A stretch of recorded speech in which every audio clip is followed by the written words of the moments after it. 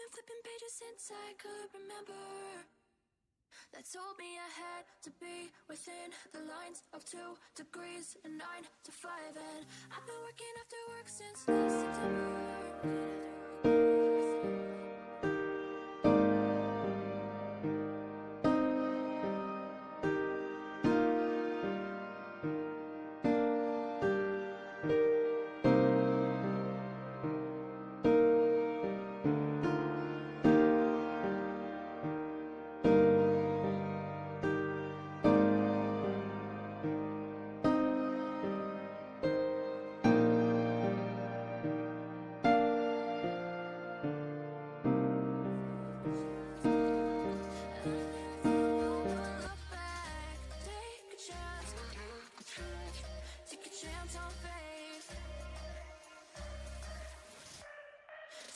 on something.